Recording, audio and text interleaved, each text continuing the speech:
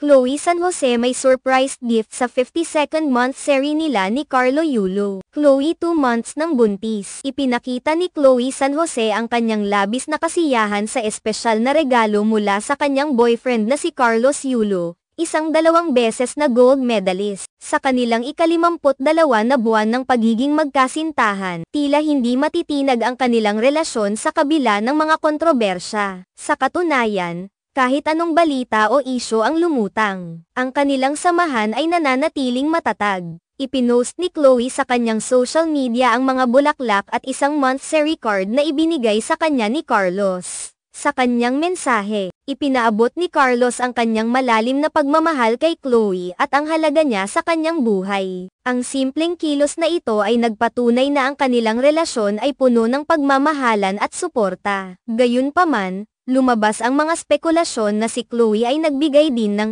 surprise gift kay Carlos na nauugnay sa posibilidad na siya ay buntis. Maraming nagtanong kung ito ay totoo, ngunit wala pang opisyal na kumpirmasyon mula kay Chloe tungkol sa usaping ito. Ang mga balitang ito ay nagbigay ng intrigang nagpalakas pa sa kanilang kwento bilang magkasintahan. Ang kanilang samahan ay tila umunlad sa kabila ng mga pagsubok. Pareho silang nakakaranas ng matinding pressure mula sa media at publiko. Ngunit sa halip na maapektuhan, nagpatuloy sila sa pagpapakita ng pagmamahalan at pagkakaintindihan. Ang kanilang mga kilos at mensahe sa isa't isa ay nagbigay inspirasyon sa kanilang mga taga-suporta, na tila nagiging bahagi na ng kanilang kwento. Isa pang aspeto ng kanilang relasyon ay ang pagkakaroon ng mga plano para sa hinaharap. Kung ang mga bulong-bulungan tungkol sa pagbubuntis ni Chloe ay totoo, maaaring ito na ang simula ng bagong yugto sa kanilang buhay bilang magkasintahan. Ang posibilidad na magkaroon ng unang anak ay nagdudulot ng kasiyahan at excitement sa kanilang mga tagahanga. Sa mundo ng showbiz, ang mga relasyon ay madalas na sinusubok, ngunit ang kwento ni na Chloe at Carlos ay patunay na ang tunay na pagmamahalan ay kayang lampasan ang anumang hamon.